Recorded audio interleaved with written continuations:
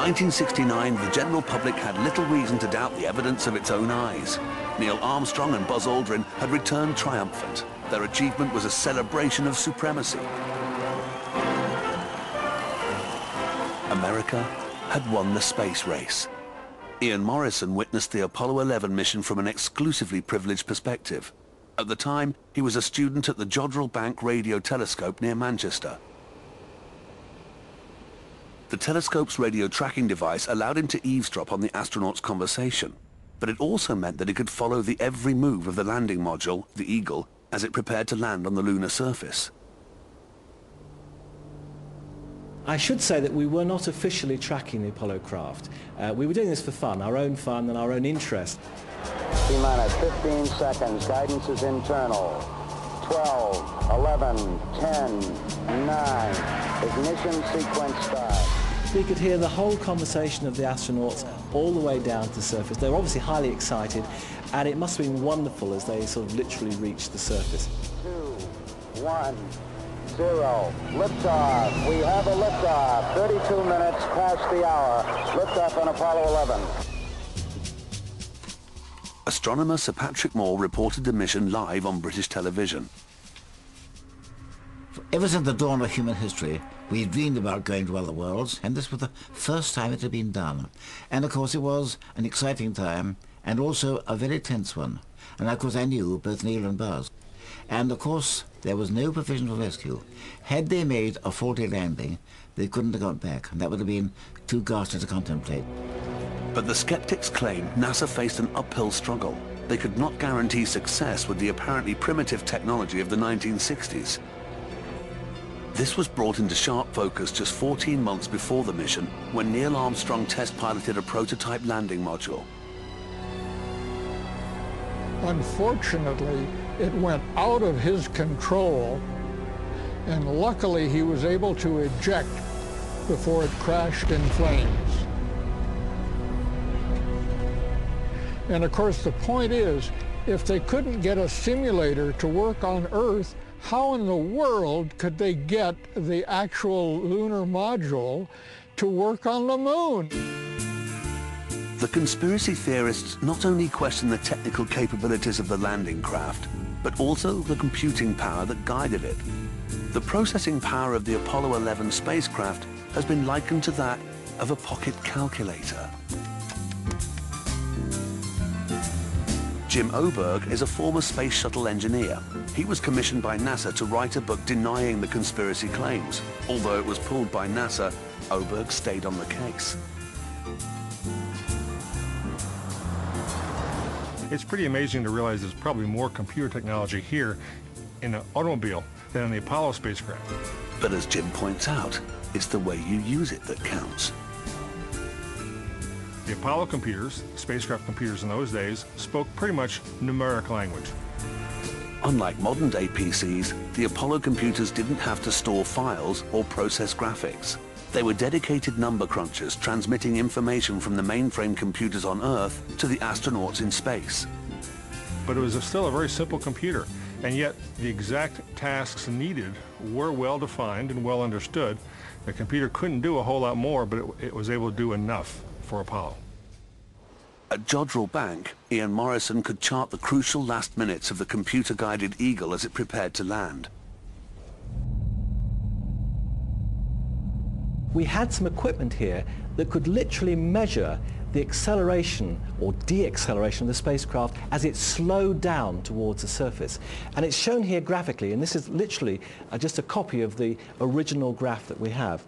And what you see here is a very nice smooth curve. The fact it's becoming more gentle means that the spacecraft was gently coming down to land under computer control.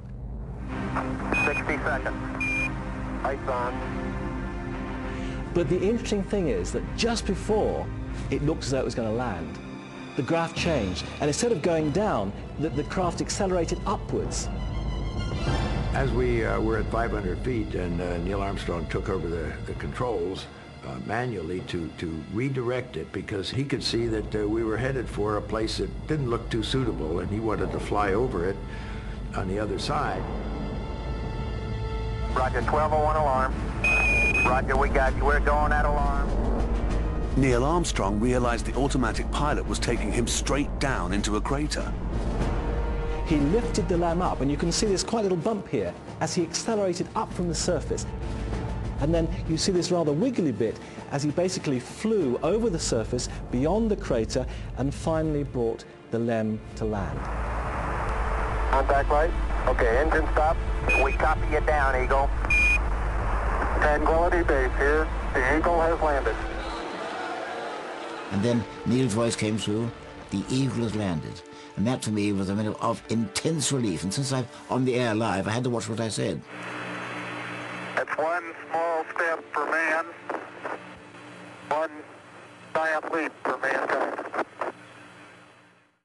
But man's first foray on the moon is the epicenter of the hoax theories. In an attempt to disprove the missions, the conspiracy theorists have analyzed every frame with a fine-tooth comb. Buzz Aldrin's dance across the moonscape has become one of the most celebrated moments in history. Near the end of the two and a half hours, uh, in front of the television camera, I did have an opportunity to, to prance around and, and hop and, and demonstrate different uh, methods of, of moving around. The movement, because of the restrictions of the spacesuit, was basically like being in slow motion. The skeptics claim that far from being like slow motion, this really was slow motion, recorded in a studio and broadcast at half speed. Speed up Buzz, and he appears to be running, albeit clumsily in terrestrial gravity.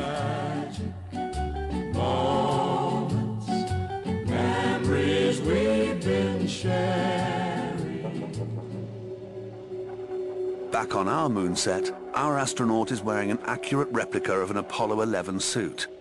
If the conspiracy theorists are right, by slowing him down, we should be able to recreate Buzz's famous moonwalk.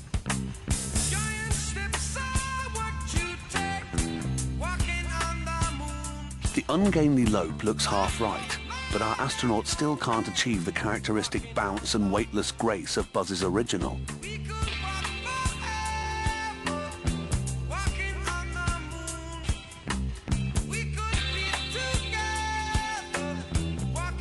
NASA faced its own challenges trying to prepare the astronauts for life in space. Well, there were a lot of different schemes uh, of, of, suspending a person and taking up one-sixth of his weight by, by pulleys or, or uh, working on a sort of a slanted uh, platform. NASA's other favorite method was parabolic flight, lovingly known by the astronauts as the Vomit Comet. By climbing and diving in a series of arcs, the plane can simulate 30-second bursts of reduced gravity. This gave astronauts a feel for the ups and downs of life in space, but the suggestion that an entire lunar landscape could have been built inside the aircraft stretches credibility well beyond breaking point. For the skeptics, refuting the moonwalk theory means nothing. They claim they have all the proof they need in the photographs. I do not think it was feasible for the astronauts to take the wonderful pictures that NASA has presented as having been taken on the moon.